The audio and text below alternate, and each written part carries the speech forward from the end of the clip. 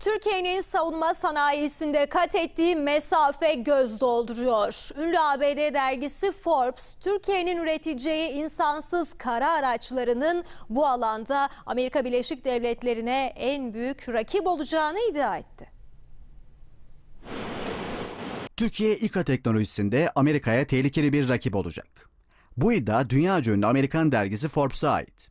Forbes, Türkiye'nin savunma sanayisindeki gelişimine dikkat çekti. SİHA'lardan sonra yerli üretim insansız kara araçlarının da başarısı vurgulandı. Forbes'a göre Amerika'nın İKA üretiminde en büyük rakibi Türkiye ve Rusya. Forbes yazarları Türkiye'nin roketler dahil olmak üzere bir dizi silah seçeneğine sahip silahlı İKA'lar üreteceğini ve birkaç yıl içerisinde tıpkı SİHA'larda olduğu gibi piyasanın önemli bir aktörü olacağını belirtti.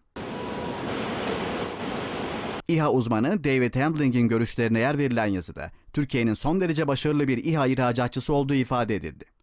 Türk İHA'ların yakın zamanda savaş alanlarında görülebileceğine, Amerika'nın pazardaki yeni rakibine karşı taktik geliştirmesi gerektiğine dikkat çekildi.